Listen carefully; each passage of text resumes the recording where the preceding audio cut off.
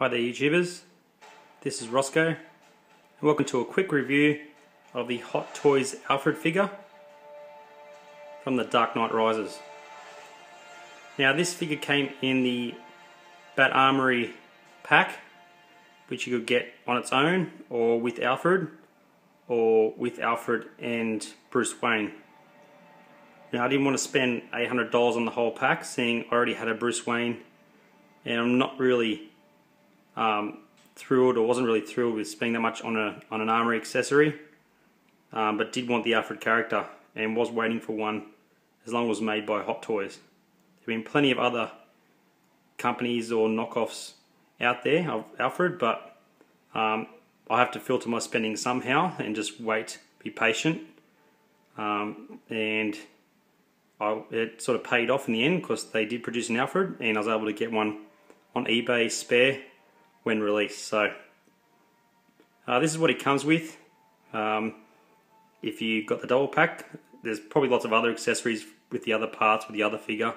This is basically what Alfred comes with. So I thought I'd give you guys a look at Alfred Pennyworth. Right, there he is there. Lots of layers of coats. He's got like the vest, then he has the suit, and he has the overcoat. Now, had him in a nice pose with the overcoat uh, not long ago, which looks really good. Gives him that butler type look. It comes with five spare hands once you decide what to use, his spare hand pegs. The seller also sent me a few batarangs, but I'm pretty sure that goes with the the armory anyway, so Get your standard Hot Toy stand. So it goes well with the other 1-6 Batman figures in my collection. Tailoring is really nice. And the head sculpt is very good.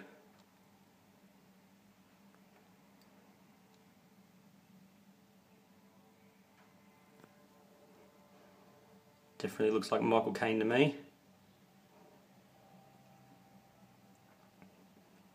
Played a great Alfred through the series.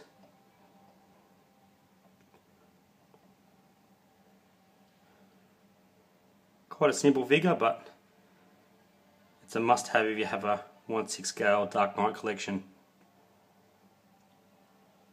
It's an essential part of that set, in my opinion.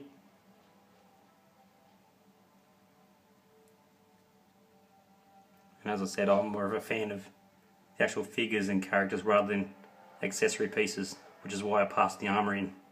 Thankfully I was able to pick this guy up loose.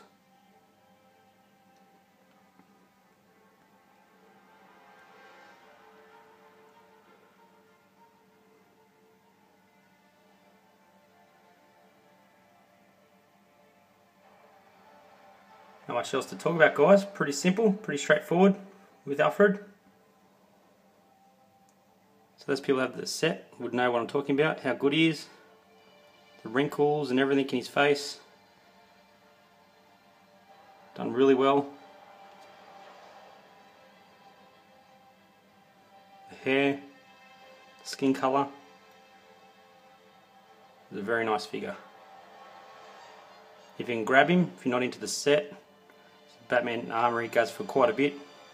Um, pick him up if you can. He's definitely worth it and the most appealing part of that set for me. There is guys, short and sweet. Thanks for watching. Catch you guys later.